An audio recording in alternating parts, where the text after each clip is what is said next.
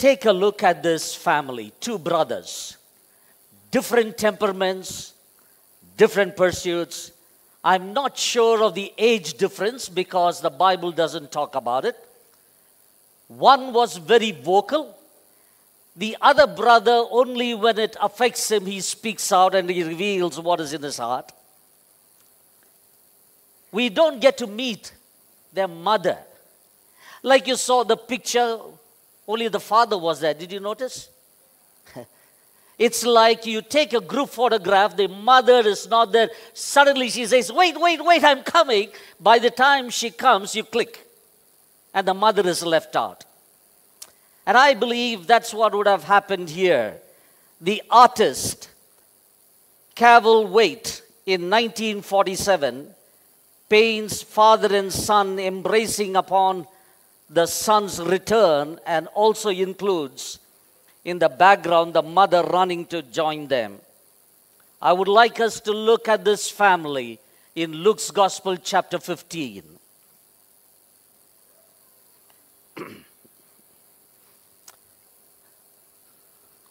How do we measure that we are the fathers that God wants us to be? Talk to our children. And I want us to look first at the two boys and then come to the father and pick up certain lessons for all of us this morning. The first one in Luke's Gospel, chapter 15, we look at the younger one, verse 2, verse 12. And the younger of them said to his father, Father, give me the portion of goods that falls to me. So he divided to them his livelihood. There are five things I want to highlight about the nature of the younger brother. Number one, he was an impatient boy. He wanted it now. He didn't want to wait for the right time for the father to distribute. And there are children this morning, may I say this? Sometimes in our life, we want things to happen now. He could have waited for his, for his share, his portion of the inheritance due him. He is asking for the one third of the father's possession. The second thing you find here, he was not only impatient, he was also an impulsive boy. In verse 12, an impulsive decision, not weighing the pros and cons. I saw it, I want it, and I want it now. Wanted to be free from parental control, restraints, wanted an inheritance now. And my dear loved ones, those of us, you know, this morning we can sit and say, ah, ah, this is my eldest son, I can picture. This is my youngest daughter, I can picture. No, no, no. I think it's good for us to say, Am I, was I like that? Once upon a time, you too were like that. So let's not just look at our children, but ask ourselves Have I been impulsive? In my impulsive state, how did my dad react? How did my mother react? Maybe the son who is not open to any kind of a discussion. He didn't want to have any reasoning. And he says, I want it now. Now look at Samson in Judges chapter 14. Judges chapter 14, verse 1 to 3.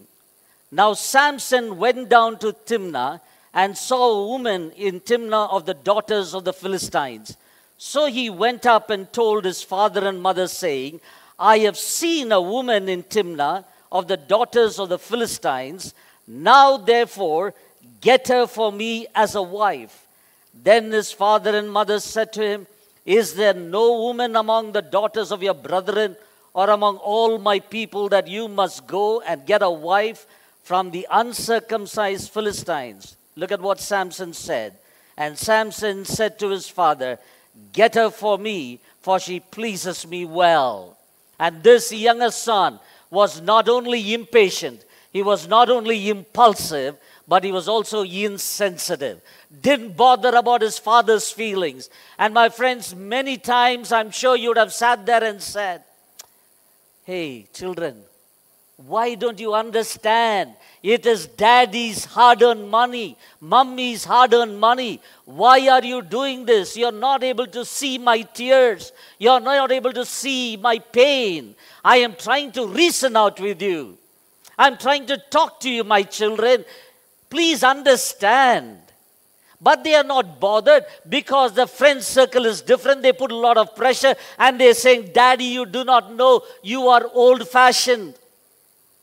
There is a big generation gap. Listen to what I'm saying.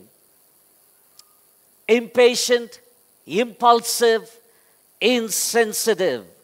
William James said, The greatest discovery of my generation is that human beings can alter their lives by altering their attitudes. Martin Luther, he said, A happy person is not a person in a certain set of circumstances, but rather a person with a certain set of attitudes. He was also an irresponsible son. Look at verse 13 and 14. And not many days after, the younger son gathered all together, journeyed to a far country, and there wasted his possessions with prodigal living. But when he had spent all, there arose a severe famine in that land, and he began to be in want. It is not his money, but his dad's. He wanted it. Wild living, waste living, reckless living empty living. Maybe there is someone sitting here who is in the same place. I have lost all my savings. If I don't give, fathers, let me ask you a question. If your child who's studying in PUC comes and says, Daddy, give me my share, I don't think you will be willing to say, Son, I've been waiting for this, just take it and go. I'm sure you will reason out. But here is a child who's so stubborn and saying, Nothing doing. I want it now. Give it to me now. If you don't give it, see what is what I'm going to do. And so there is fear. Here is a boy who spent it, didn't even think twice. He took it and went away, irresponsible. And you also find that he's an independent boy. There is an age to be independent. You ask the little child, and I was talking to my granddaughter, she's only seven years. I said, Baby, be careful. She said, I'm not a baby. Mm. Wow. And then when she goes shopping and I ask something, she asks this. I said, That is a baby's toys, ma. She said, I'm a baby. Look at it. They act like adults when they want to act, they want like babies when they want to act. But parents, we are parents. God has kept us in that position with a purpose. Maybe there is someone sitting here and saying, Pastor, how true. I have given hell to my parents. It is only because of God's grace I am here. The Lord changed my direction. And he said, sometimes you find the children are like a mirror. We see ourselves in our children. Have you noticed that? You don't look at your children at all? You do. And we're not able to say anything because the child says, Daddy, how are you, Daddy? At that time. No more, those days were different. Impatient, impulsive, insensitive, irresponsible, independent. Now look at the second boy. The second boy, the elder one, in verse 25, he is uninvolved. In verse 25, now his oldest son was in the field, and as he came and drew near to the house, he heard music and dancing. He was in the field. Maybe him going away did not bother him. Maybe there was a different equation with the younger and the older. Maybe the father was waiting for the younger boy, but the elder boy was not perturbed at all. He was uninvolved. Now, this little boy wrote a letter to God. He said, Dear God, Thank you for the baby brother. But what I prayed for was a puppy. Do you get along with your brother, with your sister? Sometimes you say, I wish he was not there. I wish she was not there. Because in this house I see there is partiality. In this house I see that every time we get a mark, there is a comparison among the siblings. See how your brother is studying. See how you are studying. And so the child goes through. Some of the young people are smiling, looking at your parents. No, this happens in all families. This happens in all families. Look at your brother, look at your sister. Well, what are you doing? Maybe that was the equation. I do not know. Where the Bible is silent, I prefer to be silent. Uninvolved. So what? If he's lost, that's his fate. Let him go where he wants to go. Daddy, why are you worried, Daddy? The second thing you find here, he was unforgiving. Verse 30. But as soon as a son of yours came, who was devoured your livelihood with harlots, you killed the fatted calf for him. And he said to him, Son, you are always with me, and all that I have is yours. And the Bible says the boy was very angry. Look at that verse. Verse 28 But he was angry, would not go in. Therefore, his father came out and pleaded, unforgiving. He did not want to be part of this celebration. He didn't want, maybe he stood there and said, Daddy, is it fair? He's got both sides of the world. He enjoyed everything. He spent everything that you had. Now he's coming home and you're giving him biryani, but I am here. What is that you have done? He feels so rejected, unwanted, unloved. Listen, my dear parents, sometimes we have to be careful because children are watching. Children are watching. We are not perfect parents. The Lord does not make perfect fathers. Am I right? We are imperfect fathers, but we are worshiping a perfect God and we pick up these values from the Father who, who teaches us. Uninvolved, unforgiving. He was unreasonable. Look at what he's telling his father. He refuses to see things from his father's perspective. Daddy, maybe you're feeling this way because you would have messed up something. Why should I go through it, Daddy? Why are you waiting for him? Is there someone who's missing that son this morning? Look at what he said. I have been serving you I never transgressed. You never gave me a young goat that might make my friends. I feel so let down, rejected, unappreciated, unloved. It's not fair. Fathers, maybe you have traveled that place, traveled that path. You have come thus far. Maybe some of us have not, some of you have not seen your father. Some of you are saying, I did all this because of the relationship that I had with my father. He never understood. He never understood. Every time he was there only for the others. Where were you, Daddy, when I went through pain? Where were you when I cried? Where were you when I was looking for someone and you were not there? Ah, son, understand, son. Understand, you're always with me, but he's gone. Uninvolved, unforgiving, unreasonable, uninterested. Verse 28. He did not ask his father, but he called his servants and said, What is happening inside? Friends, I like the word there. Father came out and pleaded. Look at the word, pleaded. But he was not interested. Yes, he's my brother. Again, I do not know the age difference. The brother. Yes, he's my brother, Daddy, but I don't want to have anything to do with him. His return. Look at what the father said in verse 32. Your brother was dead and is alive again, and was lost and is found. That's what the father said. I'm sure the younger brother would have gone a step backward and said, I wish he was dead and totally lost. Why should I go through it? Why should I lose mine? Again, this little boy Larry wrote a letter to God. He says, God, maybe Cain and Abel would have lived peacefully and not killed if they had their own rooms. It works with my brother. Hmm.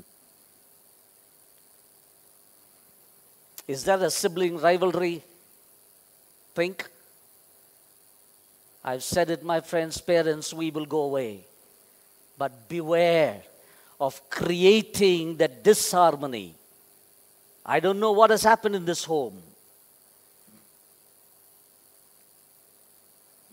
But both the brothers had these two major problems disobedience and disrespect. You can call daddy, you can call father, you can say, My loving dad, my loving father. It all depends on how we relate to that father. Disobedience and disrespect. A father taking care of these two boys. What kind of a father was he? And that's what I want to focus on. Number one, look at verse 13 and verse 28. And not many days after, the younger son gathered all together, journeyed to a far country, and there wasted his possessions with prodigal living. Verse 28. But he was angry and would not go in. Therefore, his father came out and pleaded with him. Number one, he was a patient father. I don't think the father, when the boy came and said, Son, take it and go, son, Good riddance. Don't see my face hereafter. Get out from here. Oh, I think it was a painful thing. It would have been a painful thing. I'm talking as a father, and there are many fathers who can't even imagine where the child comes and says, Daddy, give it to me, Daddy. Why are you saving for the future? I want it for the present. Give it to me. And you are helpless. You can argue, you can reason out. But I see a father here who would have reasoned out with the child. Why? Because in verse 28 you find the father came out and pleaded with the older son. If he was an aggressive father, a father who is hard, he could have said, Let him get lost. If he wants to come, let him come in. This is my home. Let him behave the way he wants. I don't care. Oh, but the father came out. We do not know how old the father is. My friends, people say your parents would have said, Boys don't cry. Am I right? Am I right? But let me tell you, boys cry, fathers cry, son cries. Am I right? We have cried. Sometimes we watch and we can't even cry in front of our wives, and so we swallow our tears. Oh, my son, I don't know why he did it. How do I know he is patient? Please look into your text, please. Verse 13. And not many days after, even after he asked for his wealth, he did not leave immediately. He continued to stay in his father's house. He ate the father's resources. He lived with the luxury. The father did not tell him, Son, now that you've taken, get out now immediately. Maybe the father was patient, waiting for the son to turn. My dear fathers, no matter how heavy it is on your heart this morning, please allow the Lord to work. Let us not be aggressive and close the door that the son cannot come back. He was willing to go to any extent to explain to the boys and make them understand. He faced the rebellion of the sons. He knew that he can only plead with the children. He can only cry to the children and say, Please, son. But he cannot hold them back. Maybe he would have just whispered and say, Lord, have grace. Get my son back. God has got a way of turning people around. Isn't what the Bible says about our Father? Look at 2 Peter chapter 3 verse 9. 2 Peter chapter 3, verse 9. The Lord is not slow to fulfill his promise, as some count slowness, but is patient toward you, not wishing that any should perish, but that all should reach repentance. He is a patient God. Are we patient? Fathers, look at our own fathers. Sometimes we look and say, Daddy, how did you cope with the daddy? There are some fathers, as I said, who could not handle it, and you have not seen the father. But there is always a heavenly father who waits and says, Son, I love you. My daughter, I love you. He's a patient father. One Sunday morning at the Richmond Town Methodist Church, you know, every Sunday, most of the Sundays I preach. One Sunday morning, my little girl, now she's grown up, she's a mother of two. She was small. She came into my study room and said, Daddy, are you preaching this Sunday? I said, No, Ma. She said, Yeah, Daddy is not preaching. I said, Why? You know what she's saying? Daddy, if you're not preaching on Sunday during the week, I can play with you. Look at it, what she's saying. You sit with your Bible, you sit with your books, you hold a pen and say, Shh, don't disturb. And when they shout and do all sorts of things, we get angry. Very often, parents, we get angry with the children not because of what they're doing, because we are irritated. Am I right? Hey, you choose to say hallelujah only in few places. Isn't that right? It's true. Let's not pretend as if we are good. No, we have done mistakes. Why are you doing this? Same child does the same thing on vacation. But when we are busy, when they do the same thing, we get irritated. Says, Daddy, why are you impatient? Be patient. Listen to what I'm saying. When the child comes back and says, Mommy, you know what happened? Today also you got punished. Eh? Huh? Are, mommy, listen to what I'm saying. Today teacher didn't come. Oh, that one. The Bible says the end of the matter is better than the beginning impatient. But the father was patient. The second thing you find about this father is in verse 18 and verse 20. I will arise and go to my father and will say to him, Father, I have sinned against heaven and before you. Verse 20. And he arose and came to his father. And when he was still a great way off, his father saw him and had compassion and ran and fell on his neck and kissed him. He was not only a patient father, he was also an available father. The first thing the boy said and did when he came to his senses is to come to his father. Let's ask ourselves when our children rebel and get out of the house, angry with things that are not good. Maybe things are all right, but may I say this godly parents need not have godly children. Sometimes we can sit there and say, What mistake have I done? Sometimes we can live in that guilt. But here is a father boy, when he when he came to his senses, what did he say and do? I will go back to my father. He knew that his father would welcome him. He knew that his father would be waiting. Maybe from the way the father spoke before he left. Maybe the father, I don't know, friends, I'm only thinking. Maybe the father would have made him and said, Son, do you really want to go? You will miss it. He knew that even though he went to a distant land, when the word distant land, please remember it is not only geographical, distant land, distant from his father. We can be in the same house and yet be distant. We can be in the same room without talking to each other. No one was available for him when he went through pain. His friends that he depended on, they left him. Nobody wanted to hire him. Maybe the boy said, I will prove it to my father. Maybe the girl said, I will show it. Don't underestimate me. I'm a young man. But he came to his senses. He came to a place where he realized that only the Father really cares. Oh, I read this and it was beautiful. I thought I should read it. Father, when I was four years old, I said my daddy can do anything. When I was seven years old, I said my dad knows a lot, a whole lot. Eight years, my father doesn't quite know everything. Twelve years, oh well, naturally, father doesn't know everything.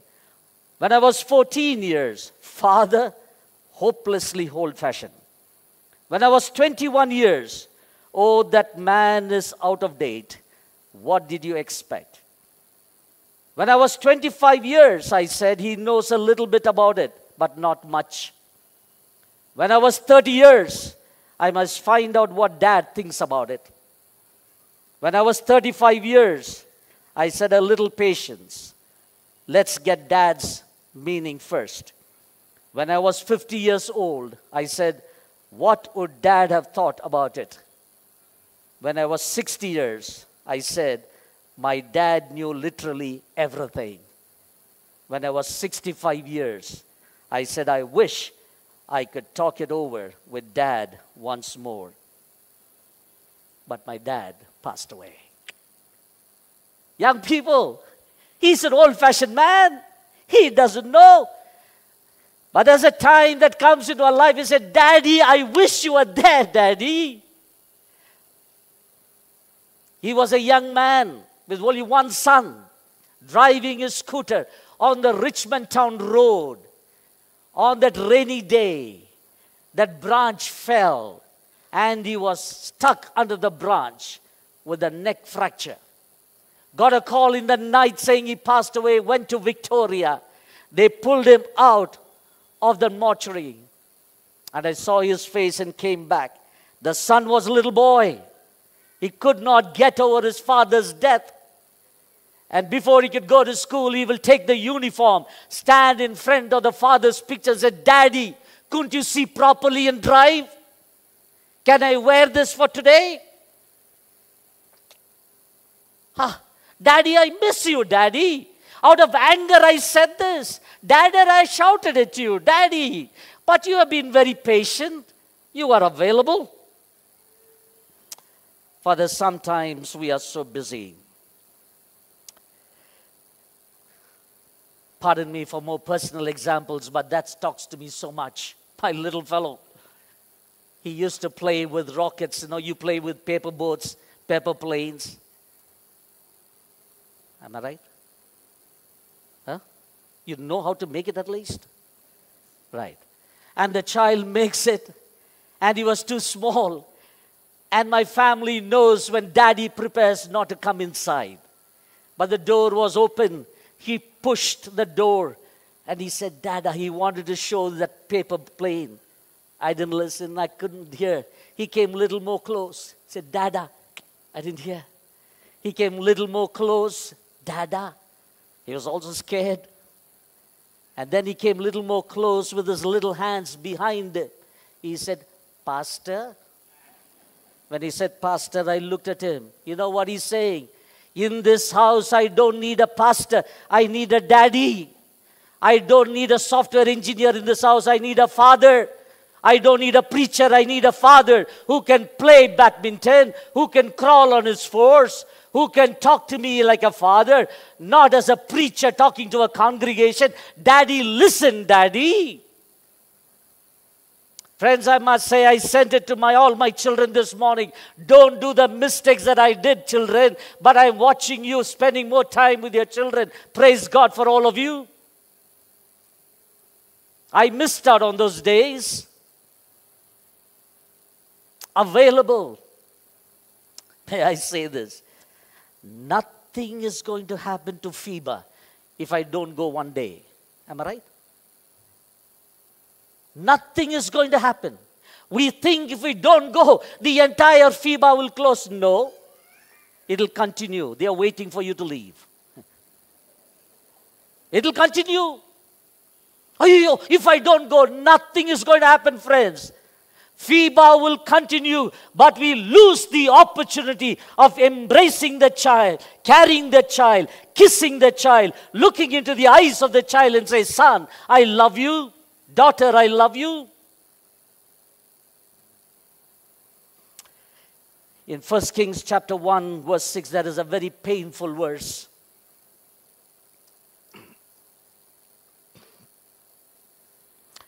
His father had never rebuked him by asking, Why do you behave as you do? His father had never rebuked him. Why, Daddy? Why is it only I get punished, not the other one? Why? Eli with his sons, go home and read. He had three warnings. Number one, people were talking about his children. The prophet warned about his children. God himself intervened. But look at the father's response in 1 Samuel chapter 2, verse 23 and 24. Eli's response was very mild. He became one with his children. As a father, do I see what God wants me to see? He was patient, he was available. Look at the third thing you find here. He was a loving father. He was a loving father. The love of the father was seen not by the father saying, Son, I love you, son. Daughter, I love you. These are words. But I'm sure the son would have seen the father coming running. Again, the Bible doesn't say how old he is. He would have seen the father come running, falling on his neck, hugging him and kissing him. An expression of genuine love. An expression. You saw Jacob and, what's your name? I forgot, Priyanka. right. It's not just on the pulpit, my friends. May I say this? In many of our family seminars, I've said this. Parents, no matter how old the children are, they will always enjoy the embrace and a hug and a kiss. Don't do it in public, they'll be embarrassed. Do it when they come home. An expression of forgiveness, an expression of acceptance, he never asked for explanation first. He never told the son, Son, sit down. First, I want to know what all you did. You know, sometimes we want the children to give the entire account of 21 years. He didn't say, Now sit down. Please tell me how you wasted my money. And then give them a sermon. He didn't do anything. He sat. He hugged him. And the son on his own asked for forgiveness. Look at that. Verse 18 I have sinned against heaven and before you. Look at verse 19. This is all he said to himself. I am no longer worthy to be called your son. Make me like one of your hired servants. When he expressed his father's, when he experienced his father's love, I'm sure whatever he wanted to say, looking at his father, I think he would have forgotten the complete sentence. He missed out one line there. Did you notice? Look at what he missed out. He forgot that he, he said, Make me like one of your hired servants in verse 21. He didn't say it. He didn't say it. Maybe the father did not allow him to finish the sentence. The father said, No, come on, bring it. Oh, friends, I said it. I don't know where I said it. This man is definitely not an Indian, the father. How do I know? I know it for sure. If he was an Indian, he would have said, told his wife, You spoiled him, no? See, he's coming. he's definitely not an Indian. He went, he rushed, he hugged, he never gave for any explanation. Listen, I'm talking as a father. Very often we want the child to give an entire account. Friends, let him give an account to the Lord. He said, I've sinned against the Father, I've sinned against God and daddy, father.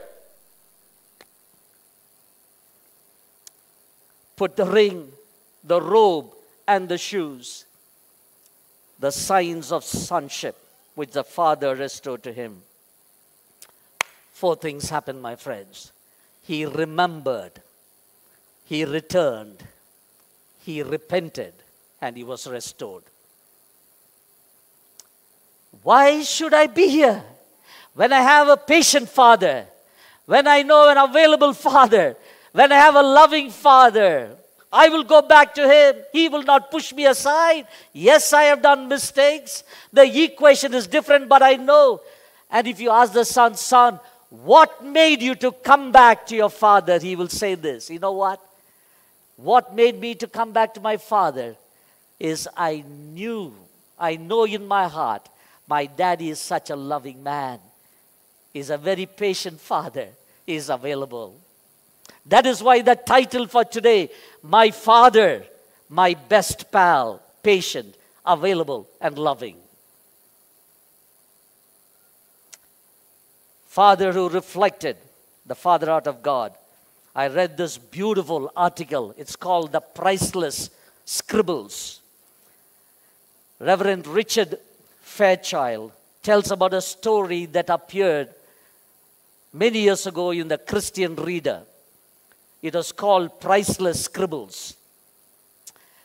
It concerns a father who touched his child's life in an unexpected way. A young boy watched as his father entered his study.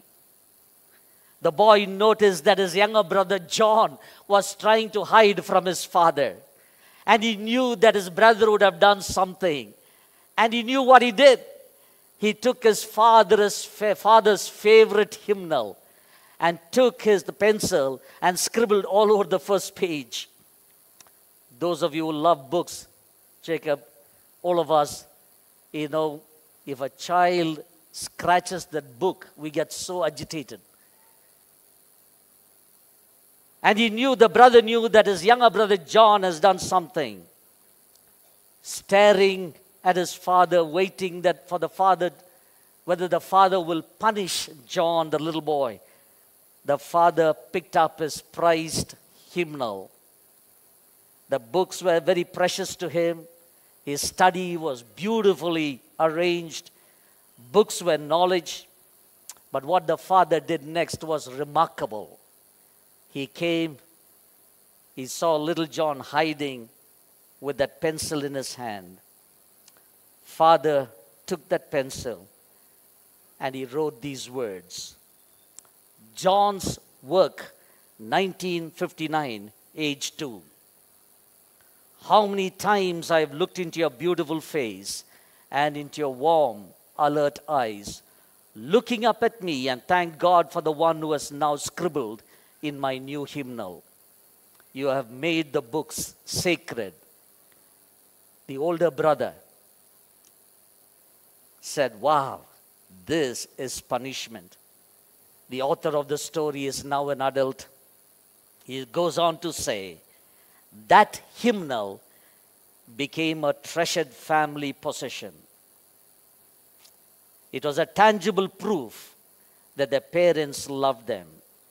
They taught the lesson that what really matters is people, not object, patience, not judgment, love, not anger.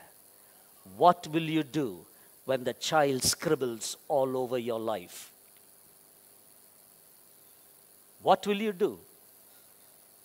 What will you do when nothing left, only the broken pieces of your dreams? Will you collect them and make a beautiful structure out of it and say, the handiwork of my son, my daughter? The son would say, My father is my best pal. He would say these three qualities drove me back to my father. I do not know if there were wet eyes. The father who reflected the father heart of God. Pastor Jacob Cherian made all of us to stand. We have a role to play. There are many wanting to have a father. Father who reflected the father out of God. Maybe the childhood was tough. Maybe you had a difficult father in your life. Maybe you haven't seen your father, and you're saying, I'm not even able to pray that Lord's Prayer, our Heavenly Father. My dear loved ones, the only one who knows me as I am, not even my wife and children, is my Heavenly Father. He will never write me off. He will always wait and say, Come, how far will you go? Come, wherever you go, I am there. And this morning, if you feel, and if you're sitting and saying, Pastor, I have never experienced that love, taste this love. Taste this love. Amazing love. John chapter 6, verse 37. All that my Father gives me will come to me, and him that cometh to me I will in no wise reject. Let me close with this poem. a dad is a person who's loving and kind, and often he knows what you have on your mind. He's someone who listens, suggests, and defends. A dad can be one of your very best friends. He's proud of your triumphs, but when things go wrong, a dad can be patient and helpful and strong. In all that you do, a dad's love plays a part. There's always a place for him deep in your heart. And each year that passes, you're even more glad, more grateful and proud just to call him your dad.